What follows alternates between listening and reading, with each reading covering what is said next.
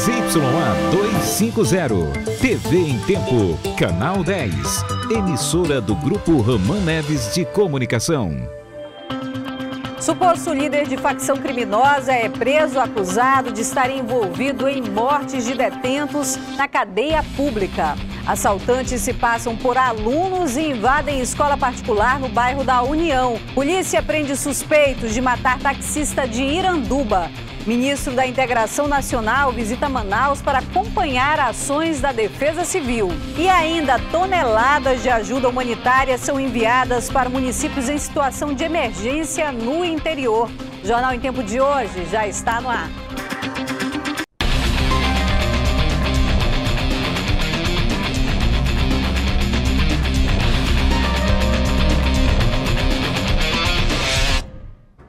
Boa noite.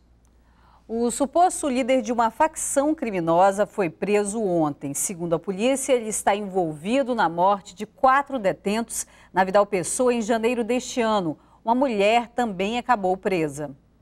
Ismael Reis da Sena, de 28 anos, foi preso por volta das nove e meia da noite, no Nova Cidade. Ele é acusado de ser o líder de uma facção criminosa que abastece a zona norte da capital com drogas e armas. O Ismael hoje é o número um da facção PCC que está fora do sistema prisional.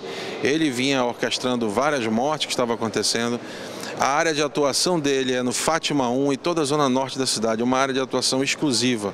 Ele era um criminoso violento. Questionado se havia drogas no local, ele informou que teria deixado 2 quilos de maconha na casa de Maiara Abidon, de 24 anos. Quando a polícia chegou até a casa dela no Amazonino Mendes, a droga foi encontrada e Maiara também foi presa. Após a prisão dele, ele, ele, informou que em um outro local, numa outra residência, teria essa droga e a quantia em dinheiro e a, essa, a Maiara se encontrava junto com esse material todo aí, por isso que ela foi presa. Durante a ação foram cumpridos dois mandados de prisão em nome de Ismael por tráfico de drogas e associação ao tráfico.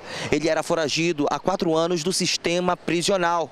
E ele foi preso na zona norte de Manaus, na casa da avó dele. Smiley também é acusado de ser o responsável pela morte de detentos na rebelião do começo do ano na Vidal Pessoa. Pelo menos quatro morreram. Ele foi o mentor daquelas quatro mortes que aconteceram na Vidal Pessoa. Então, realmente é um indivíduo de alta periculosidade que procura dominar o tráfico de drogas na zona norte de Manaus. Ele nega ser o líder da facção. Eu não sou líder de facção nenhuma. Eu não pertenço a nenhuma facção. Desde o ano de 2013.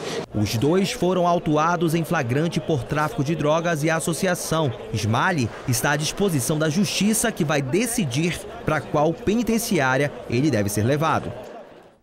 Mais um assalto em escola na capital e os assaltantes voltaram a se passar por alunos para conseguir entrar. Foi no bairro da União, na zona centro-sul da capital. A repórter Priscila Gama traz os detalhes.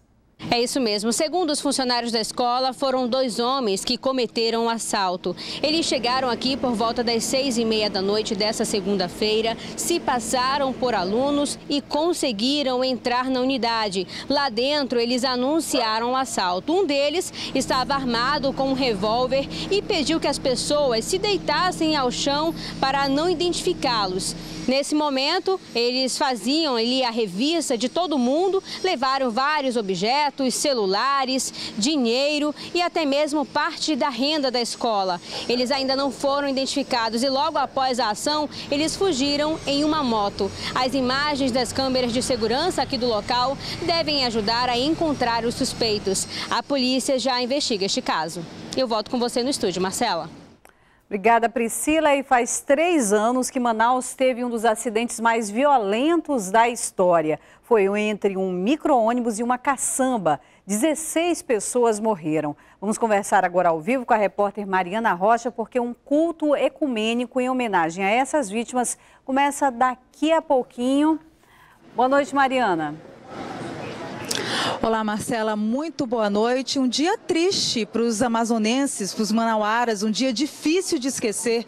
Difícil de esquecer aquela tragédia que aconteceu no dia 28 de março de 2014, quando uma caçamba colidiu com um micro-ônibus que transportava pelo menos 30 pessoas. Pessoas, a maioria que voltavam dos seus trabalhos e, infelizmente, não conseguiram chegar às suas casas. Entre as vítimas estavam os dois motoristas, os motoristas dos dois veículos, também uma mulher grávida e uma criança. Na época, os socorristas ainda fizeram o parto dela dentro da ambulância, mas infelizmente mãe e filho não sobreviveram. E a gente chama a atenção para embriaguez ao volante, porque na época a polícia é, enviou um laudo dizendo que não haviam falhas mecânicas na caçamba e que o motorista da caçamba havia ingerido bebidas alcoólicas e drogas antes do acidente. Por causa dessa tragédia, o dia 28 de março ficou conhecido como o Dia Municipal de Prevenção a Acidentes e Combate à Violência no Trânsito. Nós estamos aqui no Parque Municipal do Idoso, eh, no bairro Nossa Senhora das Graças, zona centro-sul de Manaus. O culto ecumênico começa logo mais às 7 horas da noite. Por enquanto, ainda não chegaram os familiares, mas nós conversamos aí com o pessoal da Secretaria de Assistência Social. Então, familiares, amigos das vítimas e também sobreviventes do acidente devem vir aqui a esse culto ecumênico para fazer suas orações, para tentar ganhar forças para conter a dor da perda, Marcela. Eu volto com você no estúdio. Obrigada. Essa foi a Mariana Rocha, ao vivo aqui da Zona Centro-Sul. Daqui a pouco, o ministro da Integração Nacional visita Manaus e garante apoio à defesa civil na Operação Enchente. E ainda toneladas de materiais são enviados para famílias atingidas pela cheia no rio Juruá. Nós voltamos já já.